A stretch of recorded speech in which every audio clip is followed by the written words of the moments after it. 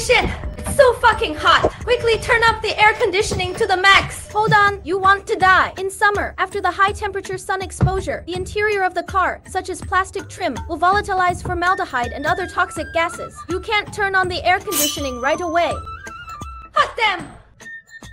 I tell you a solution. Make you so cold in summer that you want to wear a cotton jacket in the car. First, lower the passenger window to the lowest level. Then open and close the driver's door eight times. This is to use the principle of pulling the wind box so that the temperature inside and outside the car quickly consistent. Come on, get in the car and feel it again.